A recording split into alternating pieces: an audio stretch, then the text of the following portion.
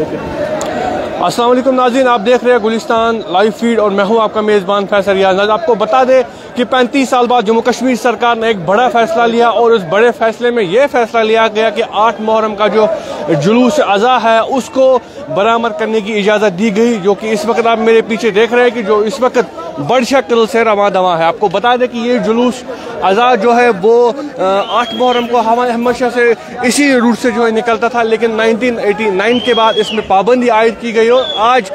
पैंतीस साल, चौंतीस साल बाद वो पाबंदी हटाई गई और आज इस जुलूस को जो है अलो किया गया। आप इस वक्त तस्वीरों में देख सकते हैं कि कितनी तादाद में लोगों की शिरकत या जो शिया कम्युनिटी की जो लोग हैं, उनकी कितनी तादाद यहाँ पे मौजूद है और इस वक्त जुलूस जो है बड़शा कदल पे मौजूद है और हज़ारों की तादाद में लोगों की तरफ़ से शिरकत की गई है। आपको बता दें, ये जुलूस जो है गुरु बादल इमाम बाड़ा से बरामद हुआ और जो अख्ताम पजीर है, ये वो ये डलगेट में होगा और उसके बाद ये जुलूस जो है ख़त्म होगा। आपको बता दें कि एडमिनिस्ट्रेशन की तरफ़ से सिर्फ़ दो घंटे का टाइम दिया गया है, यानी छः बजे ये जुलूस बरामद करना था। अब शहीदगंज या अभी गुजर से, यहाँ गुरु बाज़ार से और उसके बाद इसको, आठ बजे जो है इसको एग्ज़ाम करना है, जो कि टाइम एडमिनिस्ट्रेशन की तरफ़ से दिया गया है। लेकिन बड़ा फैसला चौंतीस सालों बाद इस जुलूस को अलाउ किया गया, जो कि आप खुद तस्वीरों में देख रहे हैं कि कितनी तादाद में जो आज़ादार है, वो इस जुलूस में शिरकत कर रहे हैं। और कश्मीर के मुख्तलिफ़ इलाकों से ये आज़ादार आए हैं। नॉर्थ की बात करें साउथ की बात सेंट्रल की बात करें हर एक इलाके से अजादार जो है इस जुलूस में शिरकत कर रहे हैं और हज़रत इमाम हुसैन अलैहिस्सलाम और उनके जो रफ़ात हैं, उनको खराज तहसीन और खराज अकीदत पेश किया जा रहा है। ये आपको बता दें कि कल शाम डिविजनल कमिश्नर विजय कुमार बिलूरी की तरफ़ से स्टेटमेंट सामने आया था कि आठ मुहर्रम का जो जुलूस है, उसको अलाउ किया गया है और ये जुलूस सुबह छः बजे अभी गुजर से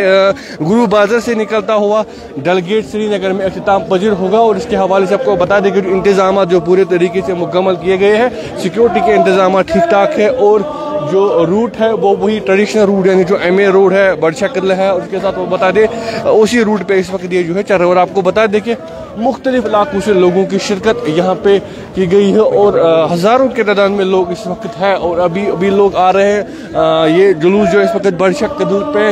इस वक्त है और यहाँ पे इस वक्त आज़ादारी हो रही है और जो इमाम हुसैन इस्लाम है, उनके रफका और उनके, जो उनके साथ करबला में शहीद हुए थे, उनको खराज अकीदत पेश किया जा रहा है, उनको खराज तहसीन पेश किया जा रहा है। ये तस्वीर आप बिल्कुल पैंतीस सालों बाद इस जुलूस के देख रहे हैं। आठ मुहर्रम का जो जुलूस पहले बैन उस पर की गई थी 1989 में लेकिन आज जम्मू कश्मीर इंतजामिया ने इसको अलाउ किया है और इस वक्त आप वो उसका नतीजा सामने देख रहे हैं। आपको बता दें, जो कि, जो भी अंजुमने हैं, चाहे वो जम्मू कश्मीर शिया एसोसिएशन हो, अंजुमन शरी शिया हो, उनकी तरफ़ से लोगों को अपीलें की गई थी कि आप जोग दर जोग इस जुलूस में शिरकत करें, जैसा कि आप देख रहे हैं कि तादाद जो है लोगों की वो काफ़ी ज़्यादा है और काफ़ी ज़्यादा तादाद में लोगों की शिरकत यहाँ पर है, जो मुख्तलिफ़ इलाकों से आए हैं। चाहे वो नॉर्थ की बात करें, उसके साथ साथ सेंट्रल कश्मीर बड़गाम, जो कि ज़्यादा शिया पॉपुलेटेड एरिया है, वहाँ से लोगों की तादाद लोगों की तादाद यहाँ पे है। और जैसा कि आप खुद तस्वीरों में देख रहे हैं कि जो तादाद लोगों की यहाँ पे है, यानी आज़ादारों की जो तादाद है, वो काफ़ी ज़्यादा है। और अभी भी लोग यहाँ पे आ रहे हैं। हम लगातार आपको इसके हवाले से अपडेट करते रहेंगे, क्योंकि ये पैंतीस साल बाद ये तबारीखी फैसला लिया गया था, जिसमें जुलूस को अलो किया गया था। अभी आगे जाके इसके हवाले से मजीद अपडेट आपको देखिए तब तक के लिए आप हमारे साथ बने रहिए और देखते रहिए गुलिस्तान लाइव फ़ीड